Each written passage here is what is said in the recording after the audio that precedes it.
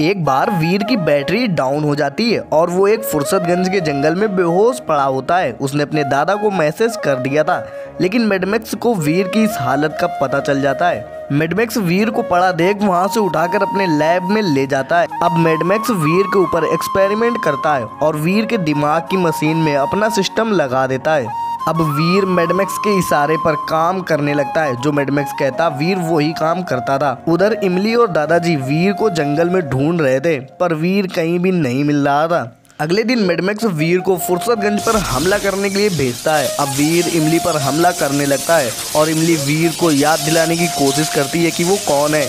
लेकिन वीर पूरी तरह से मेडमेक्स के कब्जे में था। दादाजी वीर की हरकत देखकर पहचान जाते हैं कि वीर को मेडमेक्स ने कंट्रोल कर कर रखा हुआ है। दादाजी अपनी डिवाइस से वीर के दिमाग को कनेक्ट कर रहे थे, लेकिन कनेक्ट नहीं हो रहा था। फिर दादाजी ने वीर की बैटरी डिस्चार्ज कर दी। वीर तुरंत नीचे ज़मीन पर जा गिरा।